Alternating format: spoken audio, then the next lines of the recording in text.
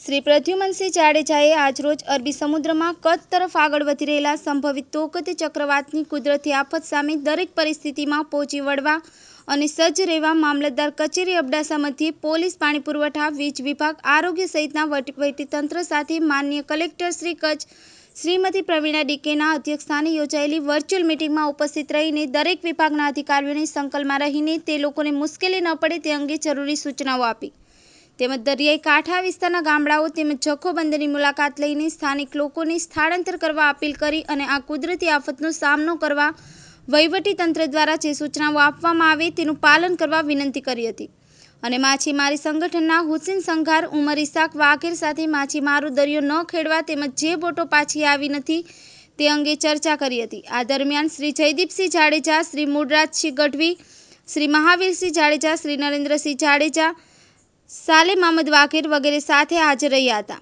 Rameshbhai Bhanushali, Naliya speed news seventeen, Abdasa Kutch.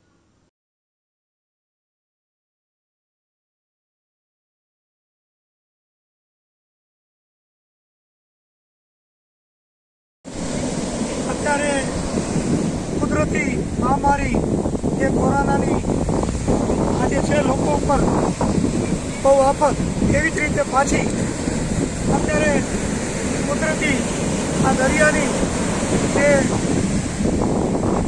અત્યારે વાવાઝોડાની જે આગાહી છે, એના માટે તમામ મોટર વિસ્તારના ગામડા જખો અત્યારે આપ જોઈ રહ્યા છો, પાછી કુદરતી આફત, આ વાવાઝોડાની અને દરિયાથી તોફાનીની પરિસ્થિતિ સર્જાણી છે, તો આપણે ભગવાન કને પ્રાર્થના કરીએ કે આવી આફત અમારા પાસે એક છે, પાછી ના આવે.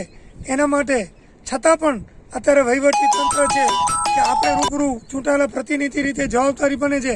તો આજે આ બોર્ડર વિસ્તારના અબડાસાના અત્યારે જખૌ જખૌ બંદર પિંગલેસર, વાંકુ, આ બાજુ વાલાવારી જે જે બોર્ડરના ગામમાં બધાને વિનંતી કરવા કે પરિસ્થિતિ જોઈ અને તંત્રને સાથ સરકાર આપી અને દરિયાથી પાંચ કિલોમીટર સખત દૂર રહેવાની આપણે સૂચના છે, તો આનામાં સાથ સરકાર આપે.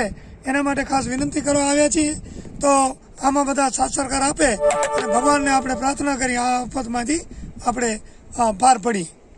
તેમજ અત્યારે જખૌ પંદર, આપ બધા સમજો છો, માછીમારોની બહુ ખૂબ જ મોટી સંખ્યા છે. તો બોટોવાળા બધા ચાર વાગ્યા સુધી તમામ દરિયામાંથી પાછા આવી ગયા છે અને જે લોકોમાં રહે છે એ કાલ સુધી તમામ એક એક વ્યક્તિ અહીંયાથી સ્થળાંતર કરી જાય. એના માટે જખો બંદર ઉપર અમે જઈ રૂબરૂ ધંગાવાળાને બધાને મળ્યા, એમના પ્રમુખને મળ્યા અને એમને વિનંતી કરી છે, તાત્કાલિક સ્થળાંતરમાં આપણે સહયોગ આપે.